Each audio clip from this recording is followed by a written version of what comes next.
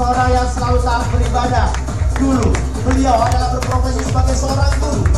Join sebagai mitra kerja auto di tahun 2006 dengan mempunyai hobi berenang. Inilah dia Indonesia Top Agent Mitra Kerja.